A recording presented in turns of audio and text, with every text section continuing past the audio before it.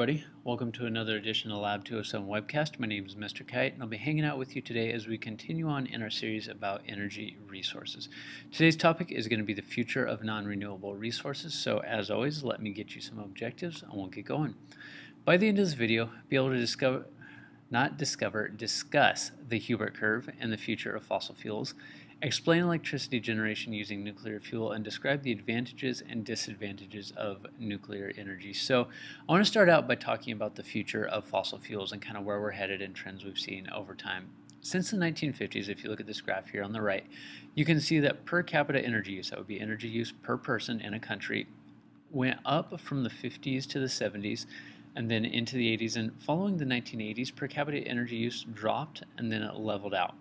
Another measure that we can look at is energy use per dollar of GDP, which would be energy intensity. You can see that globally, energy use per dollar of GDP for a country has actually gone down since the 1950s. So we can look at this graph and say, sweet, the world is using energy more efficiently, looks good. Problem is, as we talked about in previous videos, global population is shooting up dramatically. So even though we are using energy more efficiently now than we ever have in history before, each person or there are now more people on the face of the earth. So because there are more people on the face of the earth, then, you know, just kind of by extension, we're going to use more electricity or more energy globally. Also, as standard of living is increasing for people, we have more people moving into a lifestyle where they will be using more energy to support their lives. So even though we have become more efficient in our use of energy over time, overall energy consumption is still increasing quite dramatically because population is increasing as well. So by definition, fossil fuels are a finite resource. We talked about how they form and we talked about the fact that they take millions of years to form. So because they take so long to form, that means that there is not going to be any more of them within a time frame that is relevant to our discussion. So by definition, fossil fuels are not sustainable. Something that is sustainable is something that you can use at a rate at which it regenerates itself. And the rate at which we use fossil fuels far exceeds the rate at which they are able to regenerate. So by definition, they are non-sustainable. So there was this guy named Hubbert, and he tried to make some predictions about how long our current oil supplies were going to last. And he developed this curve that you see here on, this, on your screen. It's called the Hubbert curve. And it predicts something called peak oil. Peak oil is basically maximum oil production around the world.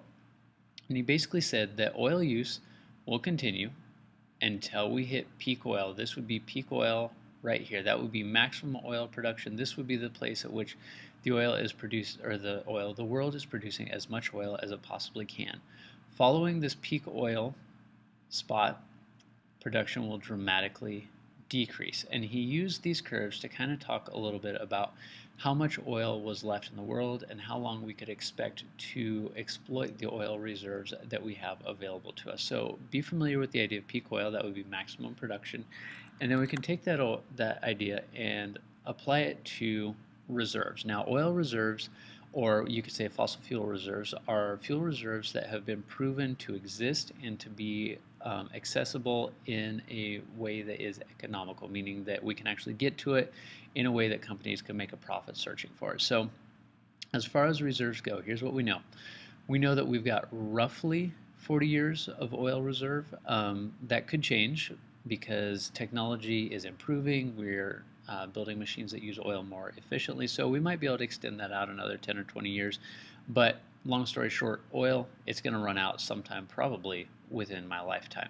If we're talking about coal, we got roughly 200 years of coal in reserve. And note that these estimates assume current consumption rates. So if our technology makes things more efficient, then these estimates could be spread out. Natural gas, it was said that natural gas reserves were, you know, just a little bit longer than oil, definitely short, shorter than coal, but um, recent advances in the technology for extraction of natural gas has changed those estimates. And you can see there on the right, the biggest oil reserves in the world are in the Middle East, followed by North Africa, and then there's some in Africa and Eurasia and Central America as well. So that's kind of where in the world the oil reserves exist. Now, the future. A couple things to consider when we're talking about the future of fossil fuels. So there used to be the discussion of, oh, we are going to run out of fossil fuels, so that is a big problem. To that end, technology has improved so that we are using fossil fuels more efficiently. If I think about it, you know, when my dad was my age, he was driving a car that got probably 10 to 12 miles a gallon. I now drive a car that gets 50 miles to the gallon. So that is a dramatic increase in the efficiency of machines, and that's through technology. But a lot of people are arguing that running out of fossil fuels isn't the problem we should be concerned with right now. We should be concerned with the fact that burning fossil fuels releases greenhouse gases, which dramatically increases climate change. So people are shifting from the we're going to run out of fossil fuels argument to hey, for the sake of the planet, we need to be aware of what we're doing with fossil fuels and figure out other ways of producing energy that are not nearly as polluting. And also, the future of fossil fuels is going to be dependent on demand. If demand shifts towards more uh, renewable forms of energy, then there's going to be less demand for fossil fuels. And as we're talking about future of energy, we want to talk about nuclear energy. Nuclear energy is kind of a weird thing in that it technically falls into the non-renewable camp because it comes from or it's produced using uranium, which is a mineral, it's a non-renewable resource, but it is highly efficient and pretty clean, so it kind of straddles the line between non-renewable and renewable. But know that technically it is a non-renewable resource. Um, it is considered to be a cleaner form of energy because when you are actually producing electricity using nuclear fuel, no greenhouse gas emissions are produced. It produces steam, and that is about all. So it is considered to be a clean form of a non-renewable energy. To understand how nuclear energy works, you need to understand this idea of fission. Fission is an atom splitting into multiple parts. Now, most nuclear energy is produced using an element called U-235, that would be uranium-235. And here's basically how the fission process works. So you start out with a big ol' uranium atom right here. You shoot a neutron, at this uranium atom's nucleus. And the uh, nucleus of a uranium atom is really big and it's unstable, so it wants to split apart. When this neutron hits the nucleus, it splits up into smaller nuclei. When that split happens, two things are released. First one is energy. This energy is harnessed to produce electricity. We'll talk about that in a second.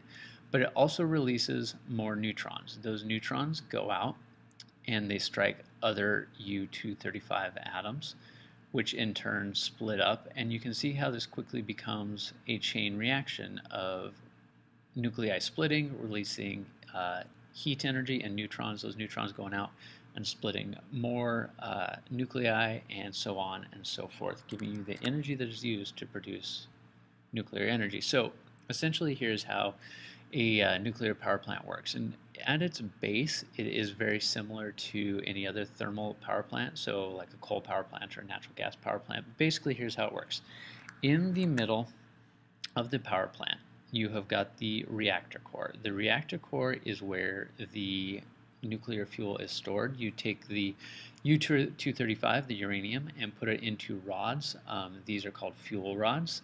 And these fuel rods hang out in the middle of the reactor core. The whole uh, reaction core is contained in a containment structure. This is to house any radioactive radioactivity and keep it from escaping into the environment. So as these uh, fuel rods go through fission reactions, they produce a ton of heat. That heat heats up water, which is going to be passed through a heat exchanger, which is this thing right here. This water that goes through is super hot. It heats up this water, causes this water to boil, which gives us the steam, which turns our turbine, which turns our generator, which gives us electricity. The water that runs through the reactor core is recycled over and over again. So the big challenge with nuclear energy uh, generation is that left to their own devices, these fuel rods will rapidly go through that cascading effect of fission and run out of control, causing a meltdown. So you need to be able to control the rate of the reaction. The way that you control the rate of the reaction is with control rods. A control rod is made out of a substance that absorbs neutrons. So basically what you do is, let's say these are your fuel rods. You've got your control rods up here and control rods are raised up from or lowered down into the reactor core. So if, let's say, the engineers want to slow down the fission reaction, they will take these uh, control rods, they will lower them down into the reactor core. Since they're down in the reactor core, they absorb some of the neutrons that are being shot off, which slows down the reaction. If they want to speed up the reaction, they pull those control rods up, which means the neutrons are not absorbed and the reaction can run more fully. If they want to shut the thing down altogether, they just take those control rods, they put them all the way down, and that absorbs all the neutrons, which shuts off the reaction. Also, this core is surrounded by water, which also absorbs some of the uh, nuclear energy that is being released. Now, as far as where nuclear energy is produced, um, the biggest producer of nuclear energy in the world is France. They get 70% of their electricity from it. A lot of Europe has um, been very successful at producing nuclear energy. Also, China and Japan use it. The USA gets about 20% of our of our electricity from nuclear energy. So, Europe, Asia, France, USA. France is part of Europe. But those are the places where uh, nuclear energy is more commonly used. Now, the advantages of nuclear energy. We're going to go advantages and disadvantages and then be done. As far as the advantages go, like I said in the beginning, uh, there's no air pollution associated with the actual electricity production of nuclear energy. So the only thing that comes out of those big old cooling towers that you can see there on the right is steam. It is highly efficient. So obviously there's going to be uh, energy and pollution associated with the mining of uranium ore to get at that uranium and the uh, purification process of the uranium. But if you control, like if you compare megawatt hour for megawatt hour, uh, nuclear energy produces 2 to 10% the emissions of coal. So this means that making electricity using coal is 90% more polluting than making electricity using nuclear energy. So those are the things that people point to when they say, hey, look, nuclear energy is not a bad thing. The disadvantages, and these are the things that people talk about a lot. Um, the waste, anything that comes into contact with that radioactive material is uh, it becomes radioactive. So this could be closed tools, anything used by workers in the plant. Obviously, the uh, spent fuel rods themselves, we'll talk about those in a second, are highly radioactive. So all of this radioactive waste has to be dealt with in a special manner because it can't just be decontaminated. You can't incinerate it. You can't just ship it off to somewhere. It's got to be dealt with because radioactivity is highly dangerous to humans. So that's the big thing is how do you dispose of the waste? There is also concerns about terrorism because the fuels that are used to run nuclear power plants are the same fuels that can be used to make nuclear weapons. So the waste that comes out of these plants, um, a lot of people worry that if it falls into the hands of terrorists, that some significant damage could be done with that. And also there's the danger of meltdown, which is a catastrophic failure of the power plant, and I'll talk about those next. So there have been three major nuclear accidents that you need to be aware of. The first one, 1979, Three Mile Island, Pennsylvania. Um, a water valve was shut off. So water did not make it into the reactor core, which means that there was a partial meltdown of the plant. Meltdown is where the uh, nuclear reaction starts to run out of control. Um, the Three Mile Island accident was really more of a PR scare than it was a nuclear disaster. A lot of people got scared. There was evacuations, but there has not been shown to be any like health consequences that came along with the Three Mile Island accident. Now, very different. 1986, Chernobyl, Ukraine. There was a severely botched uh, safety test of the nuclear power plant in Chernobyl, which led to a catastrophic meltdown and explosion. When this explosion happened, it released a ton of radioactivity into the atmosphere and thousands of people uh, died of radiation poisoning. Cancer rates in the area are still extremely high. There's an area around the Chernobyl plant of something like, I don't know, I think the radius of the area is 30 miles or something like that, where people are still not allowed to go back into the area. There are ghost towns around Chernobyl, Ukraine, that have just been completely abandoned. So this was a really, really big meltdown that you need to know about. And like I said, it was the result of a terribly botched safety test that led to the meltdown of the uh, power plant there. And then in 2011, um, the earthquake in Japan damaged the Fukushima power plant, and that power plant, their reactor core got damaged. It started leaking uh, radioactive materials into the groundwater, out into the ocean, and it also released some radioactivity into the atmosphere. They are still dealing with this one. Um, the reactor has been shut down, but they've been finding that it's still leaking radioactivity into water supplies. So that is an ongoing concern with the Fukushima power plant in Japan. And finishing up, this is the last thing that we're going to talk about for the day. Um, the radioactive waste. I want to talk about this a little bit more in depth. Um, So, like I said, the fuel for nuclear power is uranium-235. It has a half-life of 704 million years. Quick reminder on how to calculate half-life. Half-life is the length of time that it takes for half of the radioactivity of a sample to disappear. So let's say that we have got a sample that is 100% radioactive. After one half-life, 704 million years, it is 50% radioactive.